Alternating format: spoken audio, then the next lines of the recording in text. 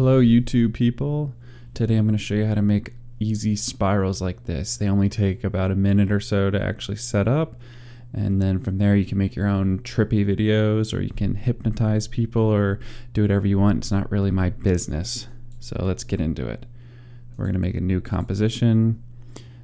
Um, we'll call this spiral comp, sure. And then from here, we're going to make a new solid. And we want this solid to be a square that's bigger than whatever our composition is. So if our composition is 1920 by 1080, I'm going to go with around 2500 by 2500. That should be fine. Let's call this spiral layer. And, and we're doing that bigger because if we want to rotate this layer, we don't want any of the edges to, to peek through on the comp. That should make more sense in a minute if it did not already. So the first thing I want to add here is a Venetian blinds. Let's go ahead and throw that on. I'll turn up the transition complete a little bit. Crank up the width so we get some wider blocks. Now let's add polar coordinates. Change the type to rect to polar. Pull that all the way up to 100. Boom, we got our spiral. if you have a weird, and if you have a weird little sliver like that, you can just kind of play with our digits until until it looks good. So I kind of want to just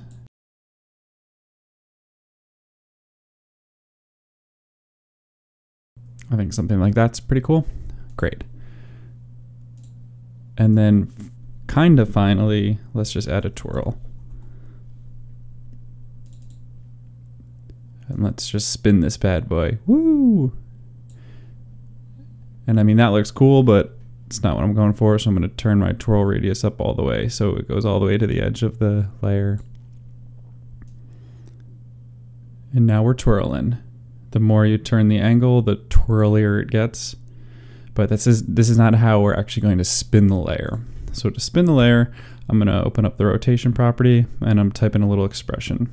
Since I'm twirling clockwise, I guess I want to spin the layer also clockwise, right? That will make sense. So we're going to type in a little expression. I'm going to go time times 10 plus value. So now this is just going to make our layer spin indefinitely, and the plus value makes it so that we can add our own little keyframes. So we could do something like kind of, if you want to have a quick kind of animate in,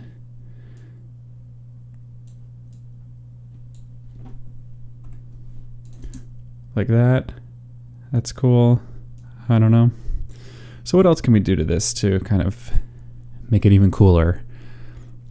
Well, maybe you want maybe you want the the strokes to get even thicker when they come outward. So we could do something like add an optics compensation and really crank this up. Oops, that's making it a ball. That's not what we want. Still cool, not what we want. We want to reverse the lens distortion. Now it's kind of coming out at us more. Or maybe we want to add a CC lens.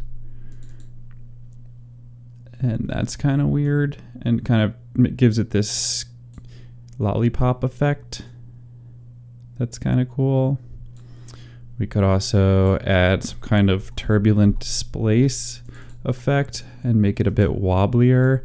And if we add the same kind of time expression on the evolution, it'll just kind of wobble around and be this even weirder, more psychedelic effect.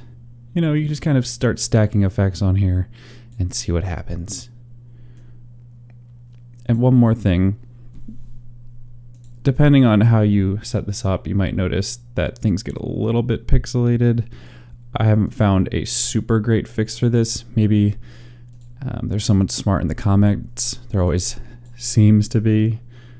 So maybe someone knows a better fix for this, but the best thing I found so far is just throw on a little choker maybe one pixel or so. And that helps a little bit. The drawback is it sometimes eats away at the center, um, but it's usually not too bad. So yeah, hope this helps. Uh, let me know what you guys come up with. And thanks for watching. Stay safe out there.